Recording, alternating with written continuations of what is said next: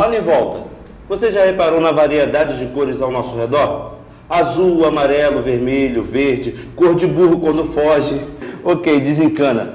O nosso programa de hoje não é exatamente sobre as cores, mas sim sobre um produto que tem muito a ver com elas: a tinta. Dependendo de características como tom e temperatura, as cores podem expressar diferentes significados e sensações. Por exemplo, todo mundo sabe que o vermelho é a cor do perigo e do amor, não é? E quem não conhece a diferença entre as cores frias e as cores quentes?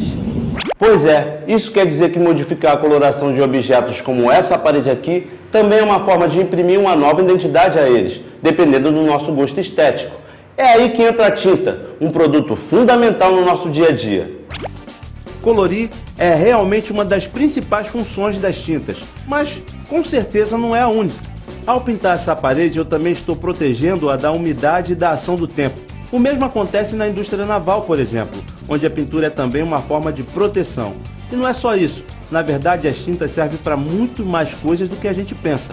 Elas estão presentes nas obras de um artista plástico, nas marcações de uma rodovia, no rótulo dos mais diferentes produtos. Sem falar na importância das tintas para a comunicação através da escrita, seja na impressão de livros ou mesmo quando escrevemos um simples recado à mão. E você, já parou para pensar na importância da tinta? Tinta? Ah, para pintura, em geral. Tinta de parede, tinta de quadro. Tinta guache, tinta óleo. Lápis de cor, caneta. Usamos no cabelo. Pode ser um, uma roupa, um tecido. A gente usa ver muito assim nos asfaltos, pintado, né? Eu acho que de uma certa forma embelezar a paisagem. O uso das tintas vem desde a pré-história. Nossos ancestrais já misturavam água a materiais coloridos como plantas e argila em pó na fabricação de tintas primitivas, usadas nas decorações de suas cavernas e tumbas. Com o passar do tempo, novos ingredientes foram sendo adicionados para melhorar as características das tintas. Os antigos egípcios foram o primeiro povo a pintar com grande variedade de cores, enquanto manuscritos de 2000 a.C. comprovam que chineses já conheciam e utilizavam nanquim para escrever. Na Idade Média, as tintas passaram a ser usadas também como proteção de igrejas e outras construções importantes. As primeiras fábricas de tintas, no entanto, só surgiram com a Revolução Industrial, na segunda metade do século XVIII. A partir dessa época, o seu desenvolvimento passou a ser responsabilidade não mais de pintores, como era até então, e sim de cientistas ligados à química. O século XX representou um grande salto para a indústria de tintas, com o advento de pigmentos de origem industrial e resinas produzidas com polímeros sintéticos. Que as tintas dão cor e protegem as coisas, nós já sabemos. Mas como será que elas fazem isso?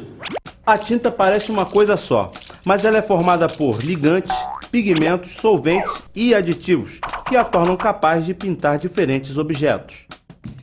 Por trás de uma simples pincelada na parede há muita química e tecnologia.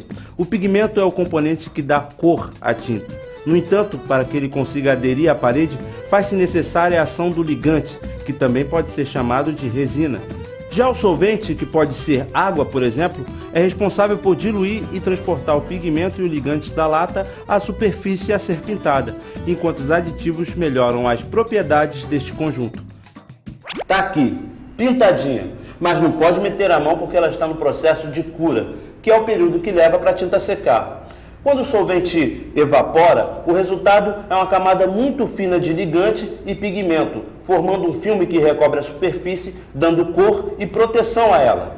Ok, já vimos como as tintas funcionam. Agora vamos ver como elas são produzidas?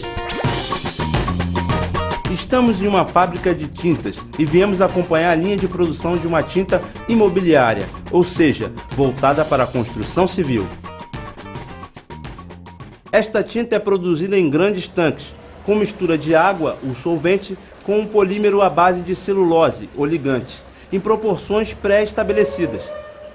O próximo passo é adicionar cargas minerais a esta mistura para aumentar o peso e a opacidade do produto. Aqui utiliza-se carbonato de cálcio com essa função. Em seguida são colocados os diversos aditivos, cada um com um papel diferente. Tem um aditivo para aumentar a viscosidade, para evitar bolhas, para melhorar a aplicação da tinta na parede e até para eliminar micro-organismos e assim evitar que a tinta estrague. Por último, chega a hora de dar cor à tinta, com a adição dos elementos pigmentares. Neste caso, pigmentos azuis e amarelos são combinados para obter uma coloração esverdeada. Antes de ser envasada, a tinta passa ainda por uma série de testes laboratoriais. Aqui são testadas a sua coloração, densidade e viscosidade. Isso garante que uma tinta produzida hoje possua as mesmas características de uma produzida ontem ou amanhã.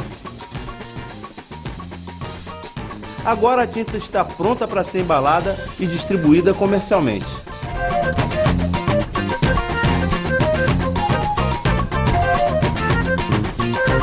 Como você já deve imaginar, as tintas não se diferenciam apenas pela cor. Essa aqui, por exemplo, é uma tinta base d'água, ideal para paredes.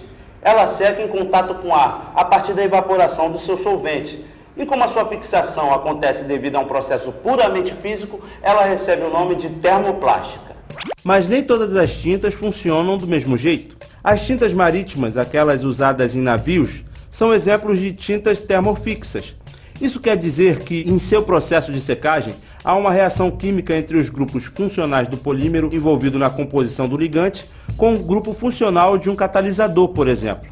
As tintas termofixas, em geral, são tintas de dois componentes, tinta mais catalisador, e o filme resultante dessa reação possui uma maior resistência e durabilidade. Embora algumas tintas termofixas sequem ao ar, normalmente sua secagem se dá através da adição de calor, como acontece nessa oficina de pintura automotiva. Aqui os carros são pintados em estufas que atingem a temperatura de 60 graus centígrados, o calor é fundamental para que a reação química aconteça como previsto e garanta a fixação correta da tinta na superfície.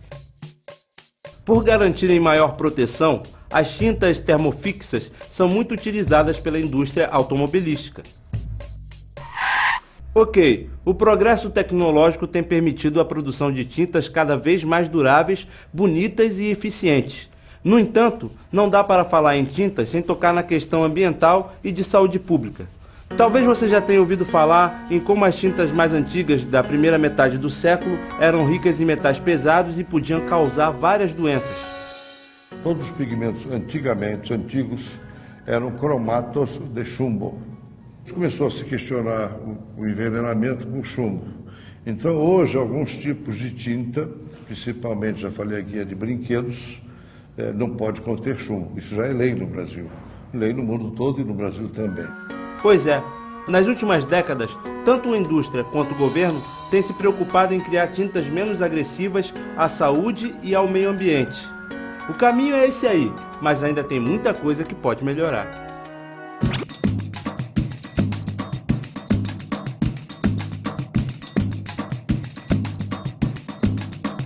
Elas estão aí para colorir o nosso mundo, mas também para protegê-lo, nos avisar de perigos e até para escrever cartas de amor. Como você vai usá-las depende da sua imaginação. Mas uma coisa é certa, agora você sabe como se faz.